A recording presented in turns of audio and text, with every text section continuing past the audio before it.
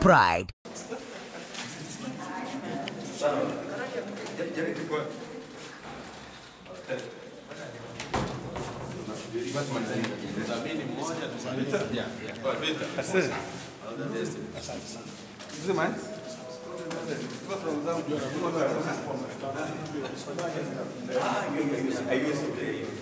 Wao walete kesi. Yaani kama wana- walete kesi. Sio mambo ya ujinga ujinga wanaletea hapa.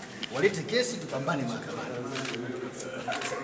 Wewe kusaini bondi. Kusaini bondi hapa. Unaenda hapa? Okay, kusaini bondi kwa mkani. Huyo mtu Ah ah, ni mdhamini anatakiwa kwenda hapa, sio kwenda kule. Sawa. Ningesimamia hiyo. Si tutamleta. Alafu maelekezo uliopewa imeisha hiyo, hiyo imeshaisha. Hali tukaongee sasa pale. Harigani mtazamaji wa Global TV, mimi naitwa Korumba Lebabas. Leo hii ikiwa ni Septemba 8 mwaka 2023, Mahakama Kuu Masijara ya Arusha leo hii imetoa uamuzi kutokana na rufaa ya kupinga maamuzi yaliyotolewa na hakimu mkazi wa mahakama ya Arusha iliyokuwa ikihusisha shauri la hujumu uchumi lililokuwa linamkabili Peter Madeleka ambalo liliibuliwa na mawakili wake wakipinga mwendelezo wa shtaka la hujumu uchumi ambalo lilikuwa linapaswa kuendelea kusikilizwa huku yeye akitakiwa asipewe dhamana kutokana na aina ya makosa aliyokuwa akishtakiwa nayo kwenye charge sheet. Kulikuwa kuna kosa la kujipatia fedha kwa njia ya udanganyifu, lakini pia la utakatishaji fedha, huku wao mawakili walieleza mbele ya hakimu kwamba e, charge sheet ambayo ilitakiwa au hati ya mashtaka iliyopaswa kusikilizwa katika mahakama hiyo ni charge sheet au hati ya mashtaka iliyokuwa inahusisha mashtaka ambayo awali Peter Madeleka alishawahi kukiri na kufanya plea bargaining na mwendesha mashtaka mkuu wa serikali ambayo alikuwa ana shtaka moja tu la kujipatia fedha kwa njia ya udanganyifu na akawa amelipa fedha hizo na akawa ameachiuliwa huru. Msingi wa shauri hili ulihusisha kesi ya awali ambayo uh, Peter Madeleka alifungua kupinga mchakato wa plea bargaining wa makubaliano ambayo yalimweka huru yeye kutokana na kesi ya uhujumu uchumi ambayo alikuwa anashtakiwa kuanzia mwaka 2020. Kwa hiyo alipokuja shauri likarudishwa, na baada ya kurudishwa, kwa maana ya jaji alifuta mwenendo wote wa kesi hiyo, akasema uh, kila kitu kianze upya. Kwa hiyo kukakosekana msingi wa tafsiri. Tunaposema kuanza upya, tunaanzia pale ambapo ali plea bargaining kwa kulipa kiasi cha fedha, ama tunaanzia kule mwanzoni kabisa alipokamatwa na kufunguliwa kesi ya uhujumu uchumi iliyokuwa na utakatishaji fedha.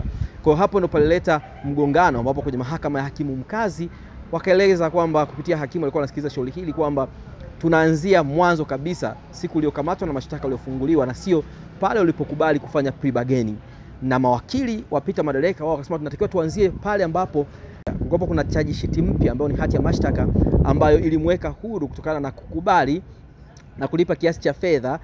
Ile chaji ilipofunguliwa iliua ile chaji sheet ya awali ambayo alikuwa anashtakiwa nayo. Kwa hiyo hapo ndipo kuna sintofahamu baada ya hao mawakili kupinga uamuzi huo na kukata rufaa katika mahakama kuu, ambapo leo hii mahakama kuu imeeleza kwamba Peter Madeleka ana haki ya kupata dhamana kutokana na charge sheet ambayo ilipaswa uh, kusikilizwa au kufatwa na mahakama. Ni kuanzia ile ambayo alilipa kiasi cha fedha, kwa kuwa ndio charge sheet ya mwisho ambayo ilikopo ina, ina, inatambulika na mahakama, na maamuzi ya jaji yalikopo ni kuangalia mwenendo wa shauri kuanzia mwanzo na sio kutengua eh, maamuzi ambayo yalikuwepo katika uh, makubaliano ambayo yalikuwa yamefanyika huko mwanzo. Tuko na wakili Peter Mabukusi baada ya uh, wakili Peter Madeleka ambaye yeye ndiye mtuhumiwa au mshtakiwa katika shauri hili kupata dhamana hiyo nje ya mahakama. Hapa anazungumza yafuatayo. Asante. Leo tulikuwa tukija kwa ajili ya shauri la ndugu yetu Peter Madeleke ambayo ilikuwa ni rufaa yetu kupinga uamuzi wa kumnyima dhamana.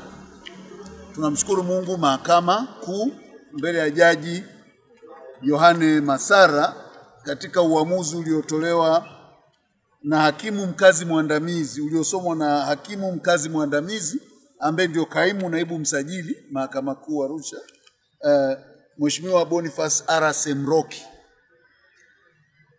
Mahakama imekubaliana na hoja zetu zote za msingi kwamba ilikuwa ni makosa kwa hakimu au mahakama kuanza kufukua au kufufua charge au hati ya mashtaka ambayo tayari ilikwisha futwa na haikuwepo mahakamani, na ilikuwa ni makosa vile vile ku, ku, kumnyima dhamana mteja wetu, kwa sababu kwa hati ya mashtaka ilikuwa mbele ya mahakama ni haki, ni hati ambayo ilikuwa inaruhusu dhamana.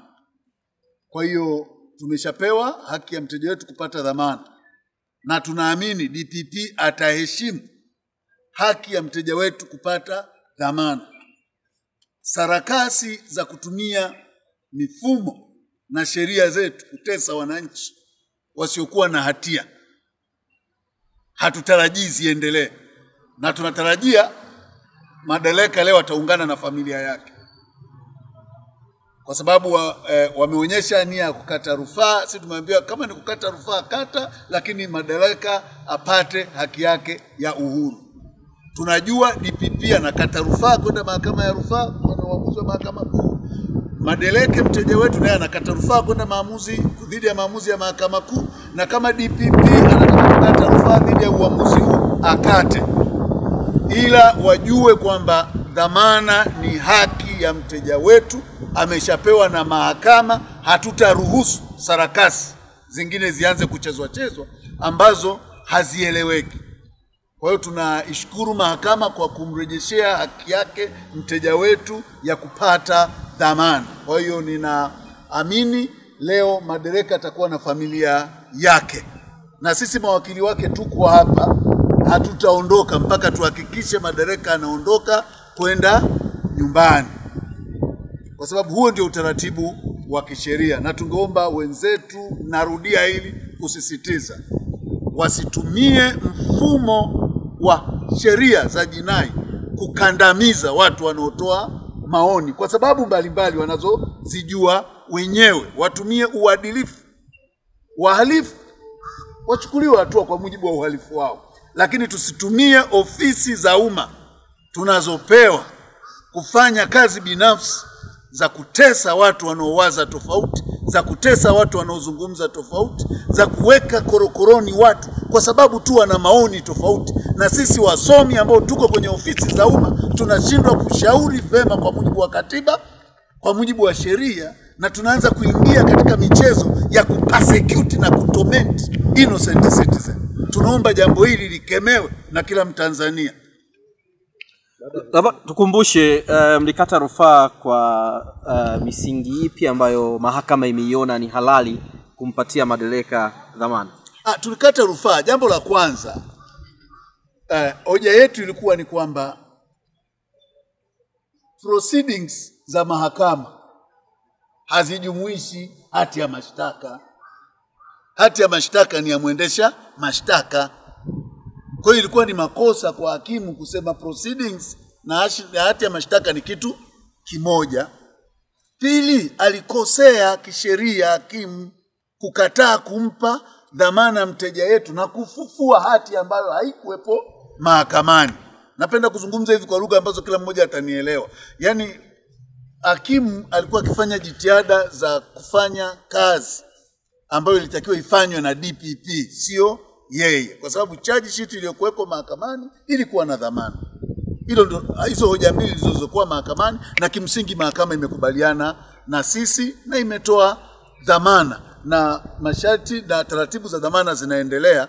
Kwa hiyo hilo kimsingi ndio lilobishaniwa, na tunaamini kwamba mteja wetu sasa ata, ata, atapata haki yake ya dhamana, na sisitiza tena, na ofisi ya DPP itajihoji na kujitathmini kwa namna ya utendaji wake wa kazi. Masharti ya dhamana ni yapi na je, mnayamudu?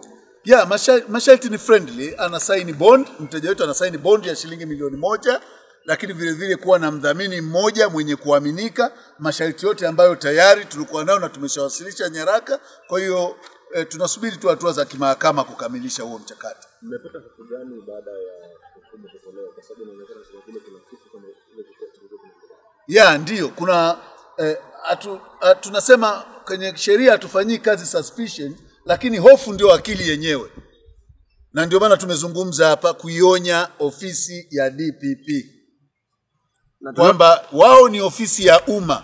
Wahakikishe wana prosecute wahalifu, wasiingie kwenye michezo ya kukimbiza raia wenye mawazo tofauti wao kwa kutumia ofisi ya umma kutaka kukandamiza watu na kuwabakiza kwa kuwabambika makosa yasiyokuwa na, na, na, na dhamana. Hili ni jambo baya, linatia kichefuchefu na halipendezi, kwa sababu hawa wenzetu ni wanasheria, ni wataalamu. Kwa nini nifanye kazi kwa shinikizo? Wote tumefanya kazi serikalini. Ukiniletea hoja ya kijinga, nitakwambia hapana, sheria isemi hivyo, simple and clear, kwa sababu you apply the law, you read the law, you apply the law. Kwa hiyo tuache sarakasi mahakamani, na Madeleka sio mhalifu, aachwe, kwa sababu mpaka sasa, labda ndugu wanahabari, hamjui hata kutumikia ile adhabu yake ametumikia, pesa zake si alishalipa wanazo, lakini bado utakuta kuna mambo ambayo kwa kweli yanatia ukakasi. Kwa hiyo sisi kama wanasheria wake hatutakubali tena michezo ya namna hii. Wakati anatoka ni kama kuna vitu hakulizika, akasema mshughulike navyo, na eh, askari pia akawa anawazuia yale ambayo yeye nyinyi mliona ni maana sahihi. nimekuambia kuna sarakasi hatuzikubali mm. na hatutazikubali na hatutaondoka hapa Arusha. Unajua, tusilazimishe. Mvua inanyesha toka mawinguni kurudi chini, lakini kuna vitendo mkifanya, tutaweka sheria pembeni. Nasema siku zote, kwa sababu kuna wengine tukisema hivyo wanasema tunakuvua uakili Mimi ni wakili, lakini ni binadamu mwenye akili timamu. Kwa hiyo ndio haya tunaosema kwamba sarakasi zinapotoka nje ya profession, we will play the game out of the framework. Okay, sawa. Bado sintofahamu imegubika eneo hili nje ya mahakama. Tutaendelea kuripoti kitakachojiri, lakini hofu inatanda, huenda Peter marareka akakamatwa tena na kufunguliwa kesi mpya, ama atakamatwa na kwenda kuhojiwa kisha utaratibu wa kufungua kesi mpya. Vyovyote vile, huenda ikatokea kwa namna ambavyo hofu ya mawakili wanaomsimamia walivyoeleza kupitia vyombo vya habari. Mimi ni mwandishi msomi, naitwa Kurumba Lebabas. Weka komenti yako hapo chini kistaarabu. Kwa heri. Ujue nini? Kuna stori mpya mjini. Iko hivi. Juzi Musa kaweka kachota, Joni naye juzi kati kaweka kachota, Halima naye nimeambiwa jana tu kaweka kachota. Hata huyo jirani yako huyo naye kaweka kachota. Kila mtu anaweka na kuchota. Unangoja nini? Ndiyo, habari ya mjini ni chota mapene. Kila mtu anashiriki kwa buku na anachota mapene. Kushiriki ni rahisi sana. Cha kufanya kama wewe ni mtumiaji wa Tigo Pesa, M-Pesa, T-Pesa, Halo Pesa, Z-Pesa pamoja na Airtel Money, ingia kwenye menyu yako ya malipo, andika namba ya kampuni 553111. Kumbukumbu namba ni 255 au andika neno Global. Weka kiasi ambacho ni shilingi elfu moja. Weka namba yako ya siri, thibitisha na uweze kuchota mapene pamoja na zawadi. Hii ndiyo Chota Mapene. Kushiriki ni kuanzia umri wa miaka 18 au zaidi. Vigezo na masharti kuzingatiwa.